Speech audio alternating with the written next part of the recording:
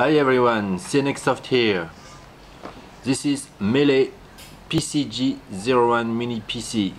It's one of these uh, HDMI sticks uh, based on an Intel Atom Z3735F with 32 GB eMMC, 2 GB RAM. Okay, and it's preloaded with Windows 8.1. So let's check and the company told me it's an activity version of Windows. Okay, wow, that's a mess. Okay. okay, so that's that's nice because they include adapters for most countries or every countries.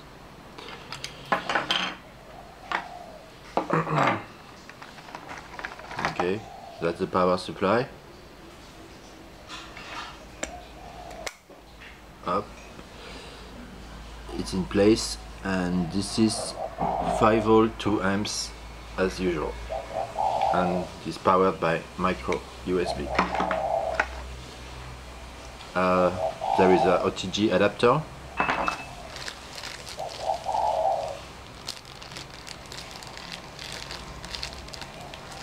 As well a female to female adapter for the stick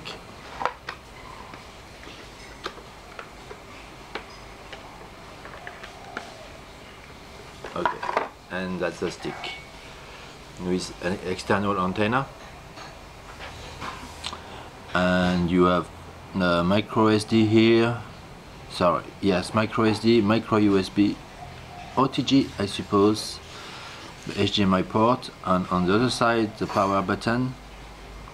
This must be the DC port also micro USB uh, as well as a full-sized USB port and that's it. Okay nothing? Oh yes. There's also a, a quick start guide in English that just describe the features and explain how to uh, configure audio output and HDMI alright thanks for watching.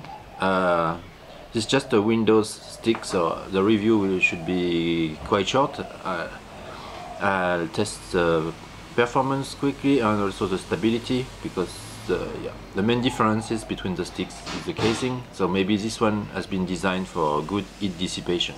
Alright, thanks for watching. Bye bye.